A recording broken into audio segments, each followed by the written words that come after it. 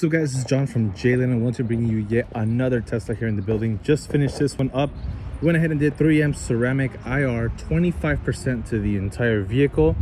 And we also went ahead and did the 70% ceramic IR for the front windshield as well. Just wanted to show you a quick little video of how this looks like on a white interior Tesla Model 3.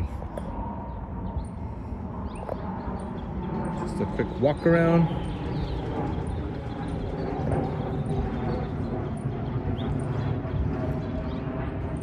We do have this back in stock.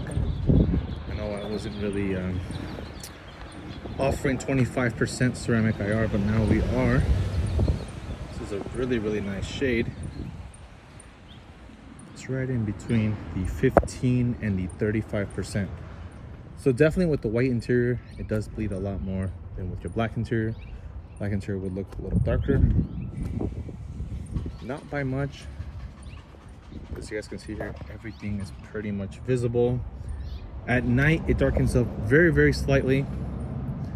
Um, keep in mind white interior does make every film look lighter.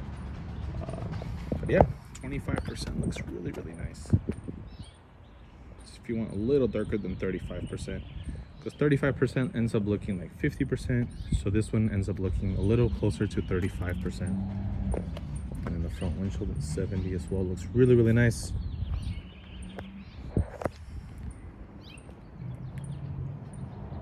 You guys have it. Quick little walk around. Thank you guys for watching